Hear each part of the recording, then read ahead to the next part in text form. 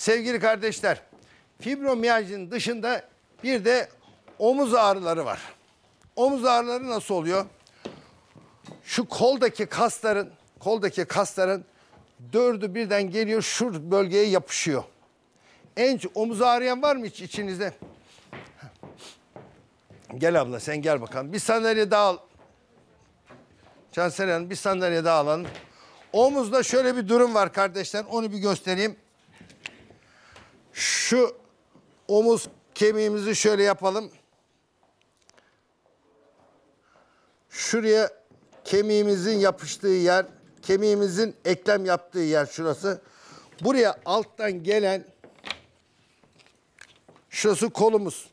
Şurada alttan gelen kolu hareket ettiren üç tane kas aynı yere yapışıyor. Şu bölgeye yapışıyor. İşte bu kasların yapıştığı ye- yerde zorlanmadan dolayı, zorlanmadan dolayı genelde omuz ağrıları bu bölgede olur. Buraya böyle bastığımızda hasta yerinden hoplar. Zorlanma sonucu, ağır kaldırma sonucu ya da ters. Nereye? Kolunuza yaptığınız ters hareketle. Kolunuzun kasları gidip yukarıya yapışıyor, ona bağlı oluyor. Bakın şimdi soracağız ablama. Genelde ağrılar şu kol kaslarının kol kaslarının gelip şu bölgeye yapışması ile ilgili oluyor. Şimdi bak ablama gösteriyoruz. Evet bir numaradan çekebileceğiz. Bakın şurada ablamı şurada gösterelim. Tam ağrısı şu nokta. Evet, evet. Bak tut mikrofonu abla. Tam orada başlıyor hocam. Neden? Demin gösterdiğim gibi size çizdim tahtada. Kolun kasları geliyor buradaki üç tane kas geliyor buraya. Üçü de yan yana yapışıyorlar bu kaslar. Kolu hareket ettirmeye yarayan kasların uç bölgeleri bunlar. Tam oraya yapışıyor.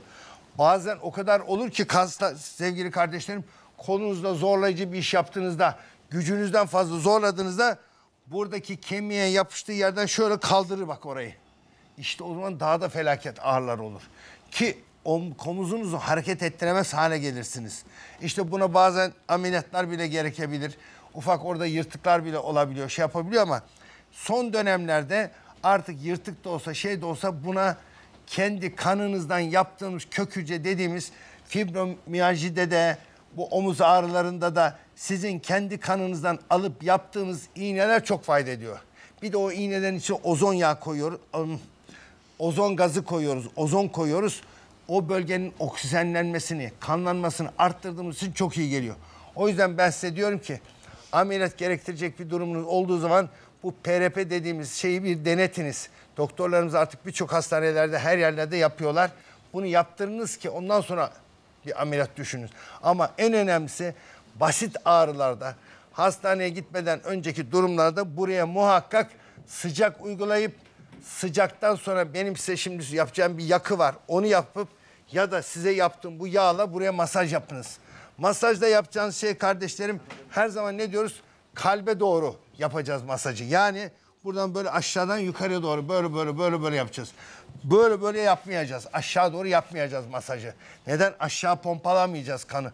Kalbe doğru dönen şey şekilde. Yani böyle böyle aşağıdan yukarıya, aşağıdan yukarıya, aşağıdan yukarıya bu şekilde yapacağız. Yukarıya doğru, yukarı doğru yapacağız.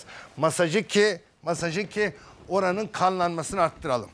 Buyur abla. Hocam omuz donması nedir? Heh, bravo. Çok güzel bir soru sordu ablam. Omuz donması da şu. Hakikaten donuk omuz diye bir tabir var. Donuk omuz şu kardeşler. Çok haklısın. Çok acı veren bir şey. Hemen göstereyim. Bak yönetmenin dursaydı ne güzeldi resim. Bakın bu resimde şimdi gösteriyorum kardeşlerim. Şu omuz eklemi bakın nasıl oynuyor. Bu omuz eklemi tutan hiçbir şey yok. Lıp diye düşer eğer kaslar olmasa. Burada bir kapsül var. Zar var yani. Bir de buradan gelen kaslar tutuyor bu omuzu. İşte kardeşlerim tam şurada yapışan kaslarda demin ablamda olduğu gibi ağrı yapıyor. Bazen de buradaki o kaslar o kadar zorluyor ki buradaki kemiği kaldırıyor. Kırık değil de bir nevi kırığımsı bir şey oluyor. Durun. Kırığımsı bir şey olduğu için siz de kıpırdamıyorsunuz. Ağrıyor çünkü hareket ettirmiyorsunuz. Hareket ettirmedikçe hareket etmeyen menteşe nasıl paslanırsa bu omuzda paslanıyor. Omuz paslanıyor, iste hareket et, etmiyor. Ne oldu? Oldu donuk omuz. İşte kardeşler o kadar donar ki bazen Hasta kolunu hiç kıpırdatamaz. Ancak ve ancak biz onu ameliyathaneye alırız. Ameliyathanede aynı menteşeye yağ sıktığımız gibi bunun içine yağlayıcı iğne vururuz. Ondan sonra ameliyathanede o kadar acır ki dayanamaz hasta. Ameliyathanede dikkatlice hareket ettiririz ki açarız. Çatır çatır seslerle açarız. Durun. Eğer siz bunu bilinçsizce, dikkatsizce yapmaya kalkarsanız tövbe Allah korusun buradan zorla çat diye kırarsın. Neden? Hareket etmeyen kemikte bozulma olur. Hareket etmeyen kemikte sertleşme olur, bozulma olur. İçinin sağlamlığı bozulur. Kemikler hep harekete göre, yürümeye göre yapılmıştır. Yürümedi mi, hareket etmedi mi o kemikin içinde çürüme olur ve en ufak bir harekette çat diye kırılır. İşte o zaman işler daha kötü. Niye kötü? Zaten omuz donuk. Hareket etmiyor. Bir de biz kırdık. O zaman hareket ettirmememiz lazım. İyice yapıştırdık. Velettâline amin. Ondan sonra o omuzdan ne yaparsan yap, ne ameliyat yaparsan yap, ne içine kaydırıcı koyarsan koy, ne ozan koyarsan koy açılmaz. O zaman ne diyorum? Omuzunuzda bir şikayet olduğu zaman gecikmeden bir an önce tedbir almanız lazım. Nasıl işte ısıtıcıyla, işte söylediğim hareketlerle.